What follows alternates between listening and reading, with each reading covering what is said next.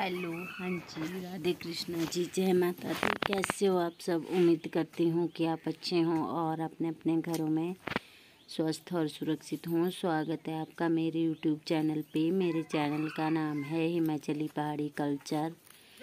तो ये देखिए, सुबह सुबह का नज़ारा। सुबह के बजे हैं छः और हम खाना वगैरह बना के और गायों का मतलब गाय काउ सेट का काम निपटा के हम खेत को चले थे तो अभी सुबह के छः बजे हैं और हम जा रहे थे खेत में मक्की बीजने। तो ये देखिए हमारे यहाँ के रास्ते कितने मतलब छोटे छोटे होते हैं और यहाँ पे चलना मुश्किल होता है।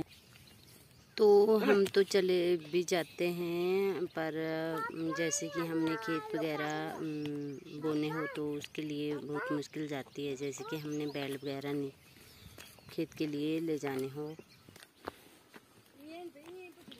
तो बैल हमारे ऐसे बेचारे जैसे कि आदमी होते हैं, और ये भी, इनको भी अब यहाँ से आदत डल गई है जाने की तो हम खेतों को जा रहे थे और ये देखिए यहाँ के खतरनाक रास्ते।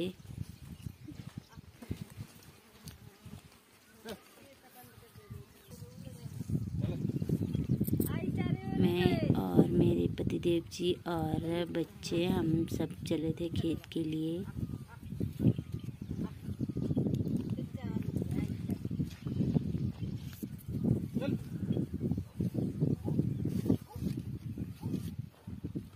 तो इनको हमने वो बोलते हैं, जैसे कि हम मास्क लगाते हैं, उसी प्रकार के बैलों को भी छिकड़ियाँ बोलते हैं हम, उसको अपनी भाषा में तो नहीं लाए थे इनको। अगर वो लगाए होते मुँह में तो ये तब जल्दी से चले जाने थे और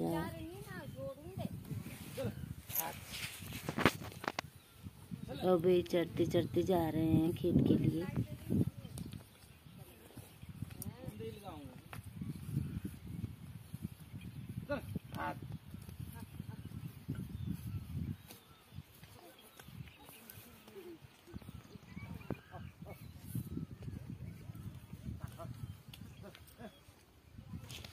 तो ये वाले खेत हमारे जेठ जी औरों के हैं और ये निचले वाले हमारे हैं। तो छः सात खेत हैं हमारे यहाँ पे छोटे छोटे और, ये देखिए कैसे पत्थर होते हैं हमारे खेतों के बीच में।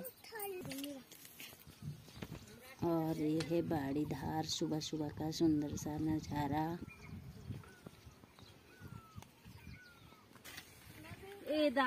तो हम पहुँच गए थे खेत में और हमने यहाँ पे मक्की बीजनी है तो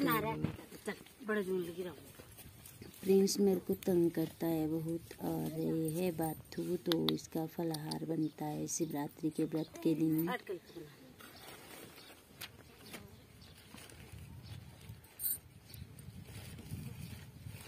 और ये है खीरे के मतलब जो हमारे घर में लोकल खीरे होते हैं। तो उनके बीज और थैली में है मक्की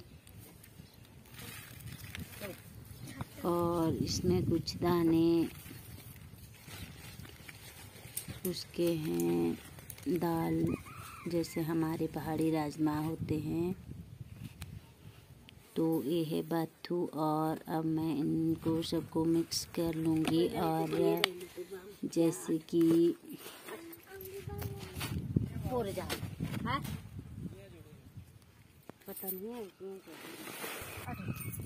तो पहले मैं मक्की बीज लेती हूँ क्योंकि इन्होंने फिर खेत की बुआई करनी थी तो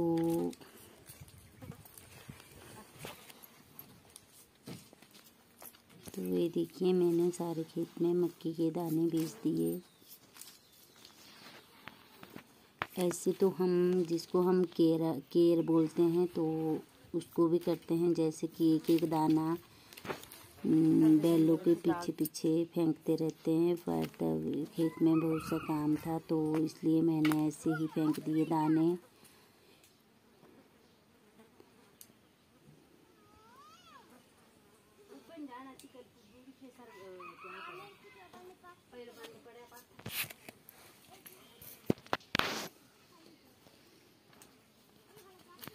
तो ये देखिए हल और मेरे पतिदेव जी हल को बाँध रहे थे। मतलब बैलों को जोड़ना बोलते हैं हम अपनी भाषा में तो उनको जोड़ रहे थे। और ये मैंने बीज फेंक दिए, जैसे कि हम इनको बीच में नहीं, हम इनको बीच में नहीं बीजते क्योंकि ये तब मक्की हवा लगती है तो ढल जाती है, इसलिए हम इधर उधर दोनों साइड में बीज देंगे ताकि ये इनकी बेलें इधर उधर कोई चली जाए और बीच में तब मक्की बच जाती है। ऐसे जब हम बीच में इनको बीजते हैं तो बीच में बीज के, इनकी मतलब हवा वगैरह लगती है तो सारी मक्की ढल जाती है। तो साइड साइड में इनको मैं बीज दूँगी, मक्की, खीरे और बाथू और पहाड़ी राजमा के दाने।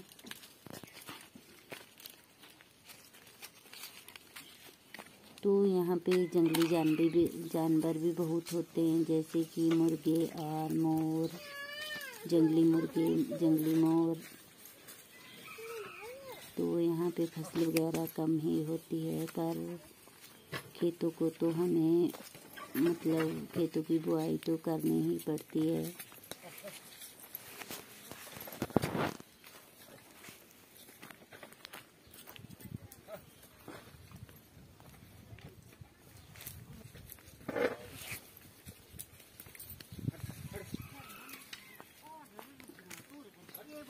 तो बच्चों को मैं बोल रही थी कि इन पत्थरों को उठाओ, जैसे कि खेत में पत्थर थे और यह पॉपकॉर्न की मछली। तो ऐसे होते हैं इसके दाने और ये है बातू तो पहले बोलते थे, पहले के बुज़ुर्ग हमारे की जब अकाल वगैरह पड़ता था तो हम बाथू और गुर्दा भी होता है एक तो यह खीरे के बीज गुर्दा और ये है पहाड़ी राजमा। बालरिया बोलते हैं हम इनको अपनी भाषा में। तो कोदा होता था, जैसे कि अकाल वगैरह पड़ता था तो उसको मतलब अनाज तो हमारा हर साल ख़राब हो जाता है, जैसे कि हमारे मक्की वगैरह होती है तो ये एक साल तक ही चलती है, ये मक्की भी और गेहूँ भी।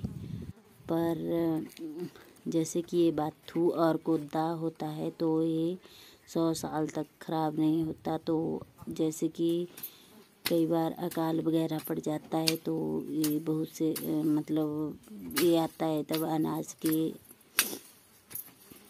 तौर पर काम। तो ये देखिए हमारे खेत कितने छोटे छोटे हैं और इधर, उधर से जोतते हैं हम इनको और तब आधे खेत ऐसे ही खनाई करनी पड़ती है। इसकी कोदाली से मेरे पास कुदाड़ी बोलते हैं हम इन, इसको अपनी भाषा में तो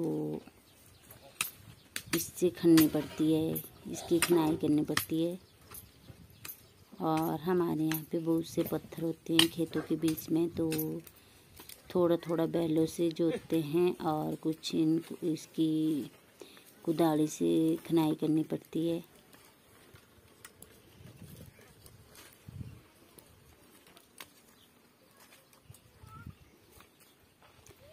तो ये आगे जैसी दीवार जैसी दिखाई दे रही है। इससे औरली तरफ़ को है हमारे खेत और परले वाली साइड को है हमारे ताया ससुर जी के। तो इन्होंने भी यहाँ पे बीज दिया है दालें वगैरह और हम भी यहाँ पे कुछ मक्की बीजेंगे और कुछ दालें वगैरह। और जैसे कि पेड़ के नीचे जैसे हमारे खेतों में पेड़ होते हैं तो वहाँ पे फ़सल वगैरह बहुत कम होती है। तो वहाँ पे हम चरी बीज देंगे, क्योंकि वहाँ पे मक्की वगैरह कम ही होती है और हवा लग जाती है तो हवा से सारी ढल जाती है मक्की।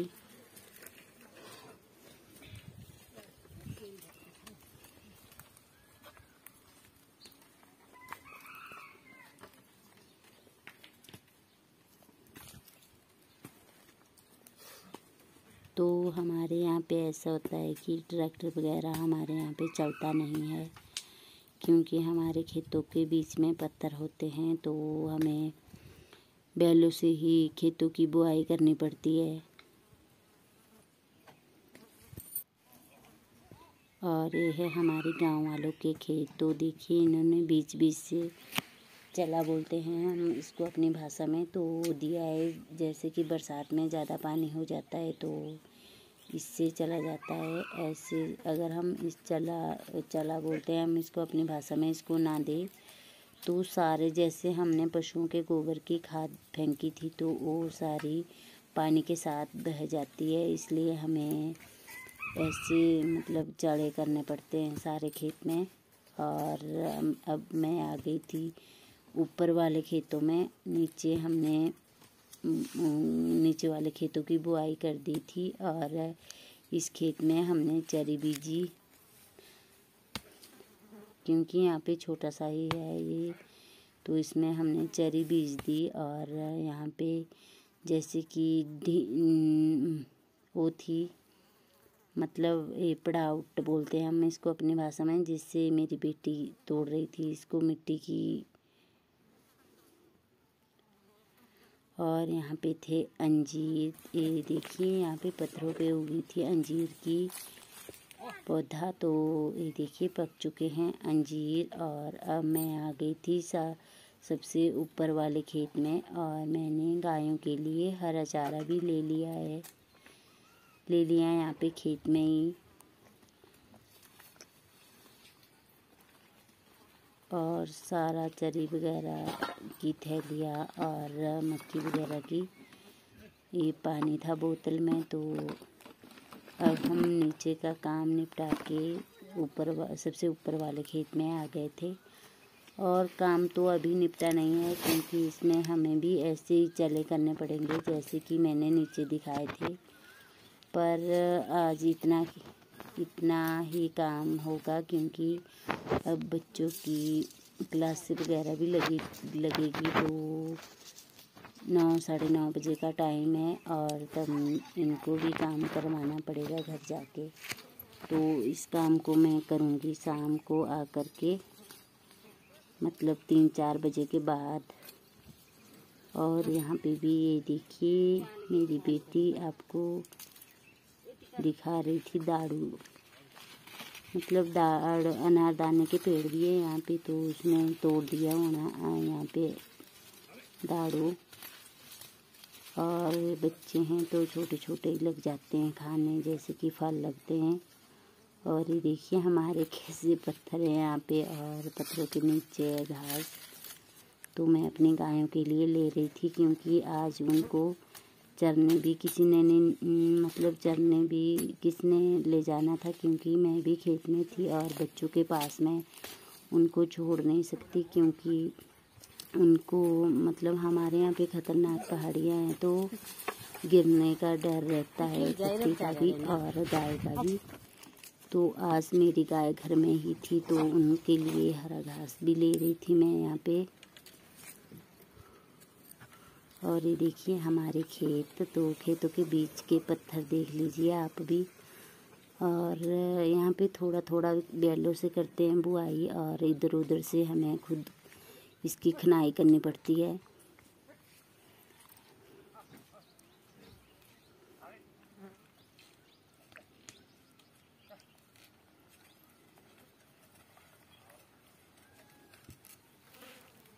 तो ऐसे खेतों में तो बुआई करनी भी बहुत ही मुश्किल होती है।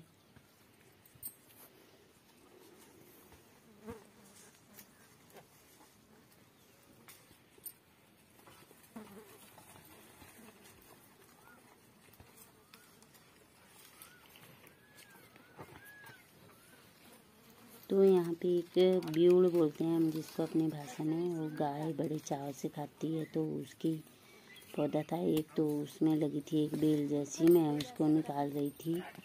और ये देखिए, हमारे यहाँ के ख़तरनाक रास्ते और ये है हमारे नीचे सड़क तो हमारे खेत यहाँ पे बहुत ही पहाड़ी पे हैं और नीचे को बहुत बड़ी बड़ी खाइयाँ हैं। तो ये देखिए, ये कर दी हमने खेतों की बुआई और मैं यहाँ पे रस्सियाँ वगैरह रखी थी और थैलिया, जैसे कि हमने मट्टी वगैरह के बीज लाए थे। और ये देखिए, हैं हमारे खेत। तो ये इससे ऊपर को है हमारे खेत और है चार पाँच खेत तो तो फ्रेंड्स, अगर आपको मेरी वीडियो थोड़ी सी भी अच्छी लगे तो प्लीज़ लाइक करें, शेयर करें, कमेंट करें और मेरे चैनल को सब्सक्राइब करें। आपका कीमती समय लेने के लिए धन्यवाद। अब मिलेंगे किसी नए वीडियो के साथ। तब तक के लिए बाय बाय। स्वस्थ रहिएगा, खुश रहिएगा और अपना ध्यान रखिएगा।